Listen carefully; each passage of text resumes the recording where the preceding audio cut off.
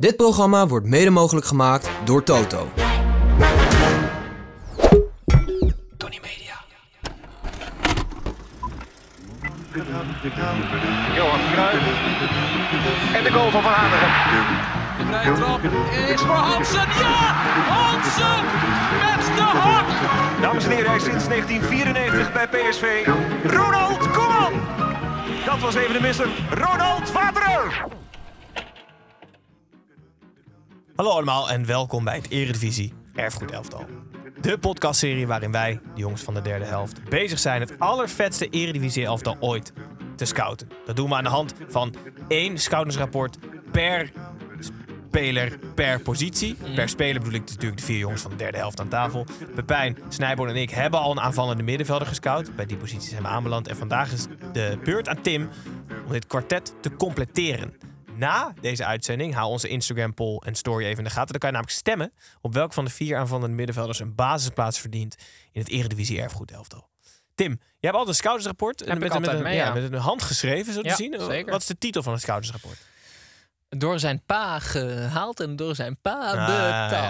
ja. Bo- hoe heet hij ook weer? Lazic? Nee? Nee, nee, nee. Babovic. Babovic, ja. Stefan Babovic. Partizan, OFK Beograd, Dit is het pas- paspoort. Hè? ja, Nantes, Feyenoord, Partizan, Zaragoza, Vasdovac, Partizan. Hoe heb jij vorige week de uitzending met Johan Cruijff? Ja. Dat je wist Ja, dat klopt. deze Dit wordt spannend, Ja, dit ik- wordt ik spannend. werd wel een beetje onrustig. ja. maar daar komt hij. We gaan er alles aan doen. Stefan Babovic, eh, opgegroeid in, ehm, eh, in de oorlogstijd eh, in Joegoslavië. Dat Ja, dit soort zaken werken, hè, dat weet Gijs. Hm? Dit soort Ja, zaken voormalig werken. Gesneuveld? Bijna, nou serieus bijna. Oh. Tussen de bombardementen eh, buiten voetballen. En op het moment dat, er dan, dat ze dan weer eh, de bommen hoorden vallen, snel weer naar binnen, daarna weer naar buiten. Alsof dat nog niet erg genoeg was, was hij ook zoon van een steenrijke Servische zakenman. Ehm, en dat lijkt niet erg. Waar het niet dat de maffia het op hem gemunt had, op die vader. Dus die werd in die oorlogstijd ook nog eens ontvoerd. Eh, en er werd zelfs eh, gespeculeerd over dat hij vermoord zou zijn. Is uiteindelijk niet zo. Oh, Helaas. Voor, Oh. voor mijn pitch. oh ja, ja. Eh, dus die vader kwam uiteindelijk terug. Maar ehm, dus de familie Babovic met de schrik vrij. Maar ja, ongelooflijk rijk gezin. Wel meer in goodwill dan. Betondorp tot nu toe. Nou, dat denk Ja. ik ook. We gaan goed. We gaan Ja, goed. ja.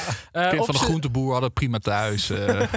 Op zijn zeventiende debuteerde hij bij ehm, FK Partizan, waar hij ook de jeugdopleiding heeft doorlopen. En hij was een, eh, hij was best wel groot talent. En op een gegeven moment was er wat oneenigheid met Miodrag Jeric, geloof ik. Dat is de trainer. En die liet hem niet altijd spelen. En toen kwam eh, de rijke vader, die een, een interessante rol speelt in zijn carrière. Die zei tegen, eh, tegen, tegen Partizan van... als jullie mijn zoon niet transfervrij laten gaan... dan ga ik dreigen met, eh, om de corruptie van de club te onthullen. Toen liet ze hem transfervrij gaan. Waarmee ze volgens mij zeggen dat ze corrupt waren. Maar zijn zoon ging weg naar Beograd. En daar kwam hij leuk tot bloei. En daarmee ook op de radar van natuurlijk talent, scout, Atemos. Die toen bij Vitesse trainer was. Die heeft er alles aan gedaan om naar Vitesse te halen. Eh, maar dat lukte niet. was in dezelfde tijd dat Atemos mij scouten voor het, eh, Het was Babovic of jij? het bureau van zijn dochter, Sanne, hoe heet ze ook weer? Tessa. Tessa de Mos, ja. Ja, nou goed. Aad, Aad, ja, en als A- Aad heeft het verstand, hè? Ah, het is zeker Aad heeft verstand. zeker verstand. Ja, ja, ja. Dus Babovic, eh, helaas niet naar Vitesse, maar naar Nantes. En daar haalde hij voor het eerst in zijn carrière eigenlijk, eh, eh, eigenlijk het wereldnieuws. Eh, tijdens een potje eh voetvolley op de training eh, liep het uit de hand. En ehm, eh, Jamel Abdoen, en, ja, koppen, koppen tegen elkaar op het trainingsveld. Je kent het wel, wat er, wat er wel eens gebeurt als twee voetballers het niet met elkaar eens zijn. En in de kleedkamer, toen Abdoen dacht dat de ruzie gesus was, die was zijn veets aan het strikken. En op dat moment eh, haalde Babovic toch even uit met zijn voet op het hoofd van zijn teamgenoot. Knockout. eh Ja, die kunnen we er goed bij hebben, zo'n jongen. tijd door een rietje gegeten. Gebroken kaak. Ehm, dus dat was eigenlijk voor het eerst dat Hij verliest wel weer een klein Ja. beetje. Ja. We gaan nog goed. Ja, ja, ja, ja. Hij staat nu gelijk met Cruijff. Dus ehm Babovic was een heet hoofd. Dat, dat, mogen, eh, duidelijkheid, eh, dat mogen duidelijk zijn. Hij was ook, ja, hij heeft ook een keer zijn tas vergeten en uitgestraald bij Marseille. En toen had hij karton als, als, als, als gedaan. Dus het was een beetje een excentriek Trendsetter, mannetje. want dat is tegenwoordig hip, hè? Precies, trendsetter, niet van glas. Dus eh heet hoofd Mag ik even terughalen? Ruud Krol, eh, in de tijd dat dat nog niet mocht, lage sokken met kleine schemerschermen, kreeg af en toe een gele kaart daarvoor. Ja, ja. Maar daar hield hij toch aan vast. Dus als het, mensen alsnog op de linksback willen stemmen. in het kader van trendsetter wil ik even... eh, Maar kreeg hij dan geel voor een, al, een paar sokken of per been? Dus dan Nee, want hij geel, had ook geel, heel vaak... Hij had ook één- hij had, er- nee, hij had er dan nog één lange sok. Oh ja, ja, ja. ja. Oké. ehm, nou ja, bij Nantes werd het hem niet. Maar Feyenoord was in die tijd eh, ja, ongelooflijk arm. En, maar die konden wel ja, Beetje goed. altijd versterking Welke jaren hebben we het over? Nou, we hebben het ongeveer over de jaren 2010. Zo recent 19. nog, hè? Fucking Ja, ja, ja. recent. En Maar dit waren echt de geen centen makken jaren. hè? dat waren De geen centen makken. Dat, dit klopt. Maar toen ging... Dit, dit, dit was nog wel met een zalige selectie. ja, maar het was wel alles echt bij elkaar sprokkelen Oké, dus een paar namen even uit dat Feyenoord waar Babovic naartoe ging. Roy Mackay, eh, Jonathan de Guzman, Danny Landsaat, Luc Castanjos, eh, Stefan de Vrij, Hofland? André Bahia, Hofland niet meer. Oké. Biseswar, Wijnaldum, Ver en Bruins. Dus je zou een ongelooflijk lekker middenveld maar dit kunnen is dus wel, opstellen. dit is net nadat Peter Bos daar dat technisch directeur was. Ja, Ja. dan hadden ze al die dure krachten Ja. gehaald. Oh ja. En daar was Makai er nog van over. En Leo Beenhakker die was daar eh, technisch directeur. Oh, En, ehm, ehm, maar die zei tegen Babovic, ja, we kunnen niet betalen. En Babovic wilde heel graag naar Feyenoord. Dus wat, toen heeft zijn zaakwaarnemer eh, zijn salaris betaald. En die zaakwaarnemer, dat was zijn vader. En ehm, later, dus dat werd, ook, dat werd ook een ongelooflijk leuk... Wat is er, Gijs? Ja, ik vraag me dan af hoe dat zeg maar, fiscaal werkt. Niet echt interessant voor deze podcast, maar je Ja, bent Ja, dus... gewoon ja. sponsor. Kijk in de show notes en we zetten er nog een eh, onderzoek denk dat naar. het We zetten een eh, Excelletje erin. ja. Sponsor, vader, gewoon een gift vadersbedrijf. precies van dat eh, bedrag. ja. Gaf hij waarschijnlijk aan Nant. Die hem dan verhuurde aan Feyenoord. Ja, Maar dit precies. leverde dus wel een van de meest ludieke spreekkoren op in, in de geschiedenis van, eh, van de Eredivisie. Met Babovic, Babovic door zijn pa gehaald en door zijn pa betaald. En wat, wat ik hier extra mooi aan vind, is dat... Ik, jullie merken, ik weet niet op welke tune dit was. Dus Nee, dat daarom- merk ik, ja. Precies. Ehm, dat Babovic la- later heeft gezegd van ja, Feyenoord was het mooiste jaar uit mijn carrière. Want de supporters zongen ook allemaal liedjes. En ik voelde me echt gewaardeerd. Maar hij weet waarschijnlijk helemaal niet wat ze, wat ze daar zongen. Dus dat was heel goed. Ehm, maar hij probeerde, hij deed er alles aan om geliefd te worden bij de Legioen. Dus hij noemde Ajax altijd 020.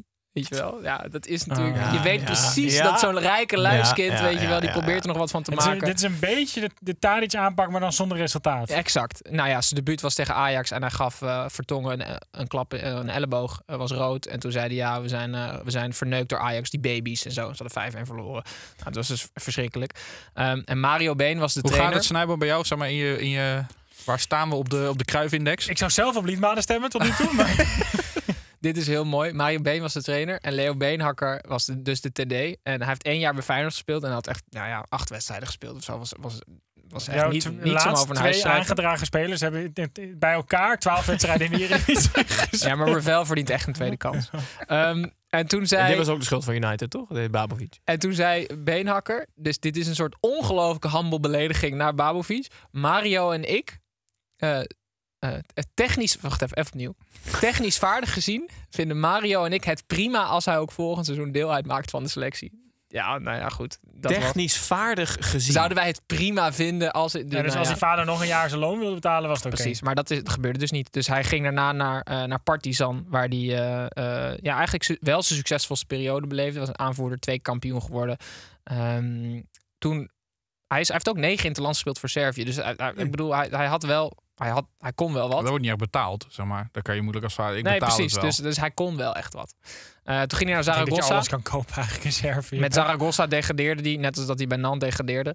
Ehm, maar dat was natuurlijk niet zijn schuld. Ehm, toen ging hij weer terug naar, eh, naar, naar Servië, waar hij nog eh, bij Vastovac de scheidsrechter te lijf ging. En ehm, ja, brilja- briljante momenten eigenlijk echt afwisselen met, met dat de stoppen volledig doorsloegen. Dus hij heeft ook een keer bijna een kantonaatje gepoeld door een, een eigen fan ehm, met een karate kick eh, ehm, ja, aan te vallen. Waar het niet dat hij net op tijd werd, werd tegengehouden door eh, een ploeggenoot. Lijkt me super.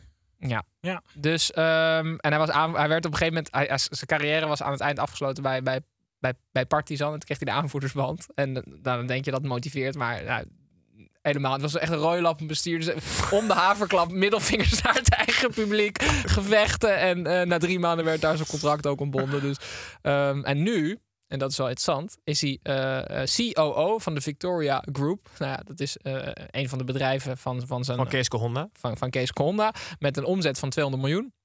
En hij heeft eh, recentelijk gezegd, een aantal weken geleden, bij RTV Rijnmond was hij. Want het, eh, het ging namelijk omdat Feyenoord te- tegen... ehm, wie speelden ze nou?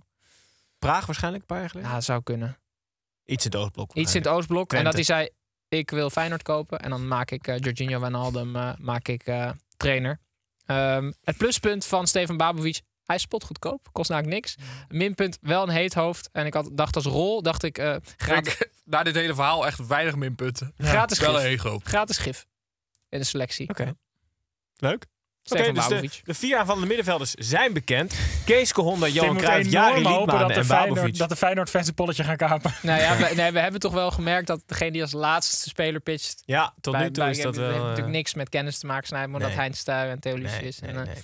Dus, we gaan- dus het wordt Laat staan K en Pothuizen. Het is Ja, echt nee, toevallig precies, dat ik... eh, precies, precies. Maar het is wel... De, de- kijk, het, ik vind het wel heel vet dat hij is. Want het is waarschijnlijk... Ik weet wat bijna van zekerheid zeggen... dat dit de enige Eredivisie-speler ooit is... die door een familie betaald is... terwijl hij bij een Eredivisieclub speelt. dat, Dus dat, dat durf ik ook wel te zeggen. erfgoed... Indirect eh, Tommy van der Leegte bij PSV. Ja, Mm, indirect. Indirect. Waar ik trouwens een verhaal over las, dat hij in een van de meest Ga heftige door. gevangenissen in Amerika heeft gezeten. Tommy van der Leegte. Hij was namelijk, wilde namelijk Amerika in en met zijn dochtertje. En toen ontbraken er een paar bladzijden eh, in haar paspoort. En toen is hij opgesloten in een soort van een van de allerergste gevangenissen. Daar heeft hij toen een dag gezeten met al, onder echt zo van prison break. Was er niks bij, zei Tommy van der Leegte zelf. Dus eh, nou, ja, dit was. Waarom had je eh, die niet meegenomen? Nee, de, de hele plattegrond van, het, eh, van de, eh, van de, van de, gevangenis op je rug tatoeëren. Zodat je onterecht opgepakt kon worden om je broer die ter dood veroordeeld is te bevrijden. we niks bij. Is er dat niks is er niks bij, ja. Nee, heel goed. Nou goed, dankjewel voor Babovic, Tim. Graag gedaan. Ehm, de kijkers, luisteraars, hou onze Instagram story in de gaten. Want dan kan je stemmen welke van deze vier een basisplaats verdient in het allervetste Eredivisie elftal ooit. Uh, Steempje Schaar, wil je volgende week als Oh, eerst ja. rechts of links buiten? Waar beginnen We we? beginnen bij rechts. Oké, rechts buiten. Pepijn, Pepijn begint. wij moeten dan. ik ben als jij tweede, bent tweede. Gijs is als tweede. Snijboon is als derde, Tim als laatste. Dus volgende week de rechtsbuiten van Pepijn. Tipje van de sluier. wel. Heel goed. Kijkers, Ik ben luisteraars. Tot, tot volgende week. Doei.